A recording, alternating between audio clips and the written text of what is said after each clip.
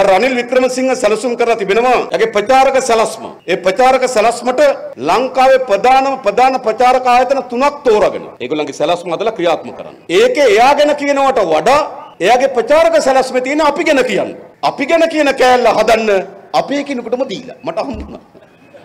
ඒකට වැඩි කියන්නේ. ගෙන අපි ගැන කියන කෑල්ල හදන්න. මොකද කියන්න හදන්නේ? මං කියලා යන්න. රනිල් වික්‍රමසිංහ ඉස්සරහට හදන ප්‍රචාරක දැන්වීම වල කරුණු තුනක් වෙනවා. එක 88 89. හා මැයි මාසේ 9 අර ප්‍රහාරය නේද? මැයි 9 සිදුවීම. එයින් පෙන්눔 කරන්නේ ජනතා විමුක්ති පෙරමුණ තමන්ගේ ප්‍රචණ්ඩකාරී ඉතිහාස අත්හැර නොමැති බවයි කියලා බිය හදන්න එක සැලස්මක් හදලා තියෙනවා. හැබැයි අපි දන්න විදිහට මැයි මාසේ 9 වෙනිදා ඔය ගිනි තැබීම් වලට හවුල් වුණු අයගේ නාම ලේඛනය තියෙන අපරාධ පරීක්ෂණ දෙපාර්තමේන්තුවේ. ඒ නාම ලේඛනය තියෙනවා ඒ හවුල් වුණු අයගෙන් තියෙන දේශපාලන සබඳතාවය. මෙයා තමයි ප්‍රසන්නගේ ගීගෙන තියන්න ගියේ මෙන්න දේශපාලන සබඳතාවය. වැඩිම කවුද? පොහොට්ටුව මතක තියාගන්න. ඉතින් ගිනි තැබීමේ ආරම්භක හිටිය ඒගොල්ලෝ ගාව. හැබැයි ඒගොල්ලෝ මොකද කරන්න හදන්නේ? නැවත අතීතයක් අවුස්සලා බියජනක චිත්‍රයක් හදන්න සැලසුම් කරලා තියෙනවා. ඒක තමයි රනිල් වික්‍රමසිංහගේ එක ප්‍රචාරක සැලැස්මක්. අහු වෙනවද? අහු වෙනවද? නෑ ප්‍රජාතන්ත්‍රවාදය විනාශ කර ඒගොල්ලෝ. ඒගොල්ලෝ නෙමෙයිද? මහා දවල් අමුමේ නීති කඩන කට්ටිය. මහා දවල් අමුමේ ව්‍යවස්ථා කඩන කට්ටිය. ජනතාවට කියනවා ජාතික ජන බලවේගය આવොත් ප්‍රජාතන්ත්‍රවාදී නැති වෙයි. දැනුත් ප්‍රජාතන්ත්‍රවාදය කඩන්නේ ඒගොල්ලෝ. දැනුත් මහා පරිමාණ අපරාධකාරී ආරක්ෂා කරන්නේ ඒගොල්ලෝ. දැනුත් මහා පරිමාණ දූෂිතව ආරක්ෂා කරන්නේ ඒගොල්ලෝ. ඒ නිසා ඒගොල්ලෝ එකක් හදන්න හදන රනිල් වික්‍රමසිංහගේ ප්‍රචාරක සැලැස්ම ජාතික ජන බලවේගය පිළිබඳ ජනතාව තුළ බිය වැද්දීම. එක. දෙක දෙක ඒගොල්ලෝ හදන්න හදනවා. නෑ මේ මේ වෙලාව නිකන් අත්හදා බලන්න හොඳ වෙලාවක් නෙවෙයි. කඩා වැටලා තියෙන වෙලාවක්. අමාරු වෙලාවක්. ඒක තමයි යාගේ දෙවෙනි සැලසුම. එයා හදන්න හදන. ඒ කියන්නේ මේ වෙලාවේ අලුත් අය ගෙනලා බලන්න තියෙන වෙලාවක් නෙවෙයි. ආ රට විශාල ප්‍රමාණයක් කඩා වැටලා තියෙන වෙලාවක්. මේ වෙලාවේ වෙන වෙන ඒවා අත්හදා බලලා නෑ. පුරුදු අයටම දෙන්න. ඒ කියන්නේ රනිල්ටම දෙන්න කියලා මතයක් හදන්න. ඒගොල්ලෝ කවුද? ඒගොල්ලෝ මේ ආර්ථික වට්ටපෝය. අපේ රටේ ඩොලර් හිගියක් ඇති කරපෝය. අපේ රටේ නිෂ්පාදන කඩා වට්ටපෝය.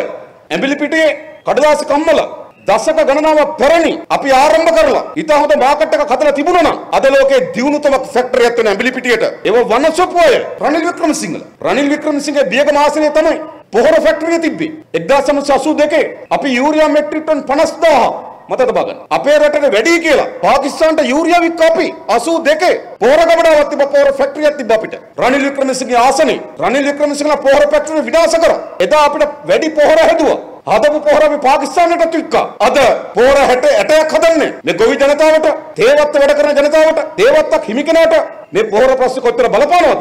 ආර්ථිකය හදපු අය නෙවෙයි. ආර්ථිකය වට්ටපු අය.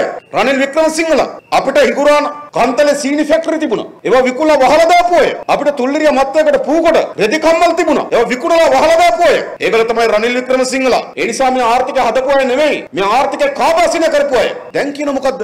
අත්හදා බැලීම් වලට යන්න හොඳ නේ. ඔව් අත්හදා බැලීම් වලට යන්න ඕනේ. ඒගොල්ලෝ ඒගොල්ලන්ගේ මොනවද තව අත්හදා බලන්න තියෙන්නේ. මේ ආර්ථිකය වට්ටපු අය. ලෝකේ කොහෙවත් ආර්ථිකය වට්ටපු කෙනා ආර්ථිකය ගොඩ අරගෙන නැහැ. ඒ නිසා අපි මේ රටේ ජනතාවට ආරාධනා කරන්නේ.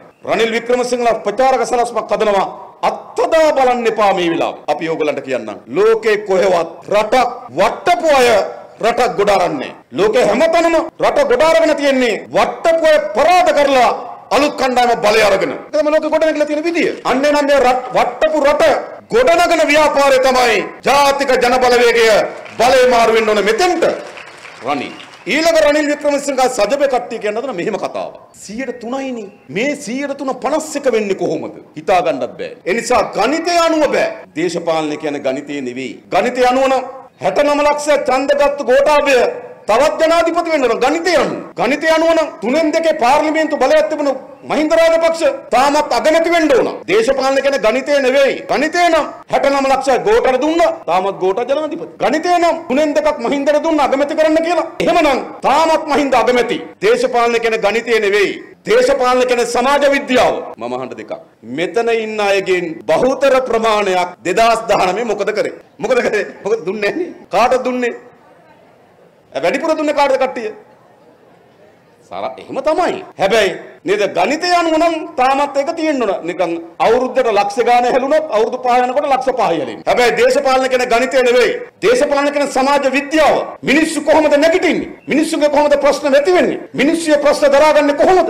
මිනිස්සුගේ ප්‍රශ්න වලට ප්‍රතිචාර දක්වන්නේ කොහොමද? සමාජ විද්‍යාව. අද රට පුරා ජනතාවගේ හඬ මොකද්ද?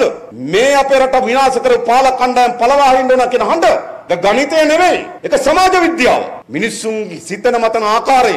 මොකද වෙලා තියෙන්නේ? මිනිස්සුන්ගේ සිතන මතන ආකාරය වෙනස් වෙලා තියෙනවා. එළබෙන ජනාධිපතිවරදී මහාචන්දදී ගණිත විද්‍යාව විතරක් නෙවෙයි සමාජ විද්‍යාවනුත් ජයග්‍රහණය කරන්නේ ජාතික ජනබලවේග බව පැහැදිලි. ඒ නිසා මා කියන්නේ ඇති. ඒගොල්ලෝ අපිට විරුද්ධව එකක් ඒගොල්ලෝ එකතු වෙන්න හදනවා. දෙක ඒගොල්ලෝගේ සල්ලි යොදවලා රූපවාහිනි වල දැන්වීම් දාලා පත්තර වල දැන්වීම් දාලා මම ඔය කියපු වර්ගයේ ප්‍රචාරක සැලසුම කදලා තියෙනවා. තුන විවිධ පන්නේ අවලාද ගහනවා. මොකද කරන්නේ? අපි ඔබට කියන්නම් ඔය කිසි අවලාදයකට පිළිතුරු දෙන්න අපි අපේ කාලය මිඩංගු කරන්නේ නැත. මොකටද? ඔය මහතුරු ඔක්කොම තේරුම් ගන්න ඕන. අවලාද ගහලා, මඩ ගහලා ජාතික ජන බලවේගය දුර්වල කරන්න තිබුණු කාලය පැනලා ඉවරයි. තව පුළුවන්ද? ගණන් ගන්නෙත් නැහැ. හරිද? පව් ඒගොල්ලෝ මන් දැක්කාර නුවර පැත්තේ රැස්වීමක් තිබ්බා කාන්තාවල පළවෙනි කාන්තාව JVP NPP ඊළඟ කාන්තාව JVP NPP ඊළඟ නිවේදිකාව එයත් JVP NPP හරි මම අපේ සහෝදරුන්ට කියලා දෙන ගණන් කරන්න කීපාරක් කිව්වද කියලා. ඒ නිසා අවලාද වලින් තවදුරටත් වටන්න බෑ ඒ සීමාව පැනලා ඉවරයි. ඒ නිසා අපි තවදුරටත් අවලාද ඒව ගැන වැඩි කලබල වෙන්න එපා. තව මොන වර්ගයේ අවලාද සැලසුම් දියත් කරන්න නියමිතව තිබෙනවා. එහෙනම් අපිට තියෙන්නේ මොකක්ද? ඒගොල්ලෝ අපිට රේව සියල්ල සැලසුම් කරමින් තිබෙනවා. හැබැයි අසාර්ථකයි අපිත් බලය අත්පත් කර ගැනීම සඳහා අපේ ගමන අපි යමින් තියෙනවා. ඒකේ ප්‍රධානම කොටසක් මොකක්ද? මේ කාන්තාවන්ගේ අවදිවීම තමයි අපේ රටේ දේශපාලනයේ හැරවුම් ලක්ෂ්‍ය කියලා අපි හිතන්නේ.